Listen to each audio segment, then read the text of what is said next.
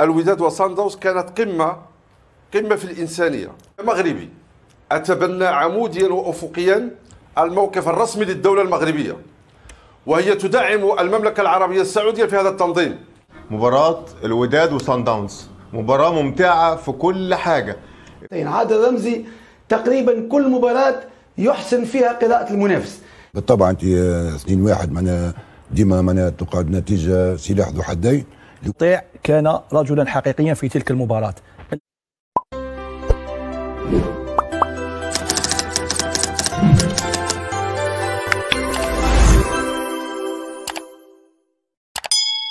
والله عزيزي هيكل اولا آه، دعني أيضا بدوري أعزي عائلة الوداد الرياضي وعائلة كرة القدم الوطنية. وأقول بأن لقاء الوداد وصندوز كانت قمة قمة في الإنسانية وقمة رياضية وقمة أيضا في التنظيم.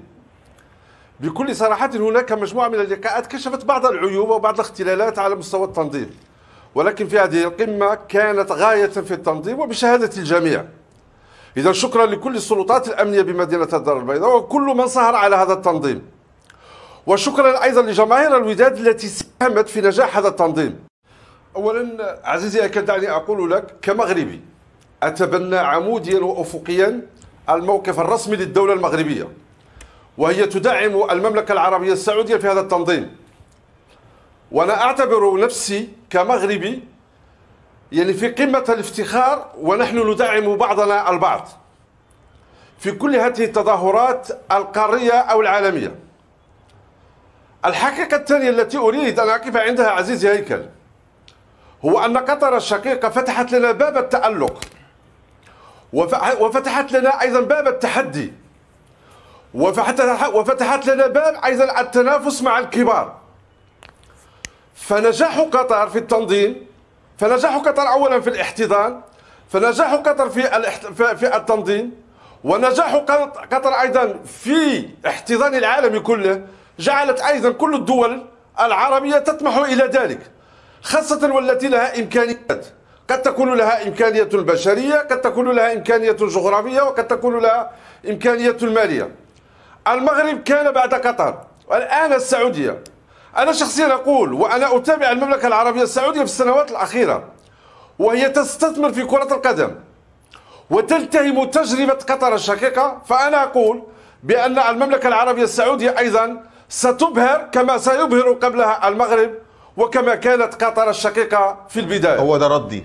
من أحسن النهائيات اللي أنا اتفرجت عليها الفترة الأخيرة مباراة الوداد وصن داونز. مباراة ممتعة في كل حاجة ابتداء بالكلمة الحلوة اللي قالها أستاذ محمد المغودي وكلمة جميلة جدا عائلة الوداد دي كلمة حلوة قوي قوي يعني كلمة العائلة دي لوحدها شاملة كل حاجة آه، حلوة.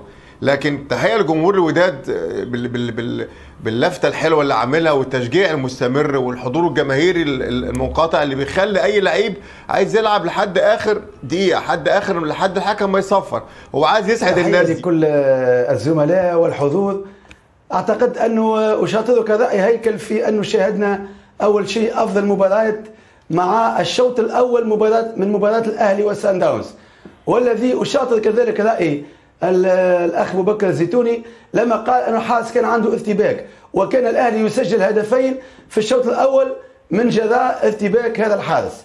فعلا هي آه، طريقتين مختلفتين. عاد رمزي تقريبا كل مباراة يحسن فيها قراءة المنافس. يعني لو نقارن بين مقابلة الذهاب مع الترجي الرياضي أينما شاهدنا العملود كأنه لاعب وسط ميدان وفي بعض الأحيان كأنه مهاجم ثاني مع البحري هذه المرة مع سان داونز. يعرف نقاط قوة سان داونز. العملود شاهدناه في دور كلاسيكي لظهير أيمن يقوم بالدور الدفاعي. يصعد آه، عندما آه، تتاح الفرصة ولا نشاهد كذلك الظاهرين يصعدان معا. في حين آه، بالنسبة لسان داونز فريق لا يلعب على الأطراف لكن يبحث عن العمق. وهذه أعتبرها أحد نقاط ضعف هذا الفريق. وأنت قلت هيكل أن الفريق هذا لا يغير طريقة لعبه. هو هذه من شيء من الفرق الكبرى أنه لا يتأثر بالنتيجة ولأنه عنده أسلوب لعب واضح وهو الهجمة المركزة. يعني خلينا نقول تيكي تاكا جنوب أفريقية تبادل سريع على الكرة آه، لعب في بعض الأحيان حتى من لمسة واحدة وكأن كل لاعب تقريبا يعني متأكد من تحركات يعني زميله وكأنه العشر لاعبين ماسكين نفسهم يعني باليد باليد ويعرفوا التمركز الجيد. وهذه صعوبة كبرى لكن عاد رمزي خليني نقول وشاطر خليني اليوم تقريبا خذيت كلمة من كل المدخلين آه، أستاذنا المغودي قال لك مستقبل الكرة المغربية. فعلا هو مدرب له فكر عالي جدا وقراءة تكتيكية سليمة وكل مباراة يأخذها على حدة. ورغم أنه يلعب مباراة الخامسة في 15 أن يوم تجاوز الإرهاق والتعب الذي انتابه في نصف نهائي إياب. أمام الترجي لما كان الوداد غايب على الفورمة لكن عرف كيف ينتصر. استرجع الأنفاس. شاهدنا البارح ضغط عالي. شاهدنا شراسة على حامل الكرة. شاهدنا روح قتالية. وطبعا بتواجد هذا الجمهور الرائع الودادي الأكيد أنه شحنة معنوية آه، إضافية. الوداد فعل كل شيء. على رمزي يحافظ على الثوابت رباعي الدفاع لاعبي الارتكاز الدراوي وجبران. وهذا السداسي تقريبا هو العمود الفقري للفريق. ثم يغير على الأطراف آه، بوسفيان أو أو حيمودي. يعني اثنين ثلاثة تغييرات في كل مباراة حتى الفريق يحافظ على نفس الأسلوب لكن بخصال مختلفة. يعني لما يكون موجود الهوني وأنجم يعني الفريق وقتها سوف ينتظر قليلا ويلعب على الهجمة السريعة واضح. لأنه خصال الهوني وأنجم مختلفة على أبو سفيان وكذلك الحتيمي. مباراة وتشوف بداية المباراة ومعناها تحس أنه فريق معناه متكامل. كما قال نادر داود معناها فريق معناها تحس أنه العشرة لاعبين وكأنه معناها الاوتوماتيزم اللي معناها نسميوها معناها مع بعض. تشوف شخصية اللاعبين الفردي والجماعي تشوف فما فما أسلوب لعب فما ثقة في النفس. هذا معناها فريق فريق بصراحة فريق آه، صعب الميراث. بالطبع أنت آه، سنين واحد معناها ديما معناها تقعد نتيجة سلاح ذو حدين. لكل آه، مباراة ظروفها. لا تنسى أيضا الوداد البيضاوي لما ممكن حكيم مر بالفترة هذه لما يكون ما عندك لاعب معنا مثل مثل أخ يعني في العائلة يتوفى في ظرف تاع مباراة. ظرف صعيب. آه، التأثير النفسي على اللاعبين كان إيجابي دفع جماهيري كبير جدا. ماهيش مباراة ما مرتش سهلة على الوداد. شفنا بعد الهدف فريق سان داونز كيفاش معناها استغل الفرصة معناها كانت عنده الإمكانية باش يسجل. حتى في الشوط الأول جات ممكن زوج فرص واحدة فيها الفار اللي معناها مش في ضربة جزاء والثانية اللي ضربت في الشباك المطيع من صحيح. يعني فريق خطير وخطير جدا. لكن لكل مباراة ظروفها ولكل مباراة معناها كل مدرب كيفاش يقرأ اللاعب وخاصة نحن لما نعرف انه جبران باش يغيب على المباراة هذيا ممكن يكون عنده تأثير.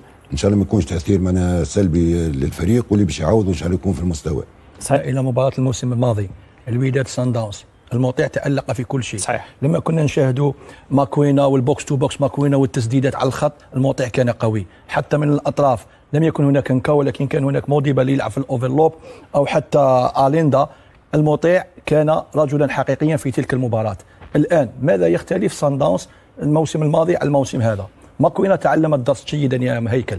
أصبح يلعب بتوازن دفاعيا لا يغامر كثيرا. هو الآن يجب عليه أن يسجل هدف ولكن الوداد انظن انه راح ينتظروا. المطيع سيكون له دور كبير وكبير جدا في عمليه في عملية اقتطاع الكرات العرضية في عملية ال box to box من ماكوينا لأنه ماكوينا لاعب خطير جدا. يوصل ال box والتسديد على الخط. نظن أنه سان داونز لن يكون بتلك القوة التي كان عليها الموسم الماضي لأنه كذلك هو يعرف قوة الوداد ويعرف أن الوداد إذا سنحت له الفرصة ووجد المساحات لابد أن يكون هناك هدف. لكن انظن انه المطيع إذا جعل وترك الوداد ترك الوداد في أعز أو في احرج اللحظات لأن المباراه لكره القدم تنقسم على فترات فترة القوة فترة الضعف وفتره التوازن. في فترة ضعف الوداد إذا كان المطيع في يومه نظن أن الوداد لن يخرج إلا ويكون بطلا لهذه ال Super League وأذكرك فقط آه، في في ذاك عملية الكواليس سان داونز هو فريق موتسيبي. والآن الرئيس الحالي لسان داونز هو النجل الأكبر لموتسيبي.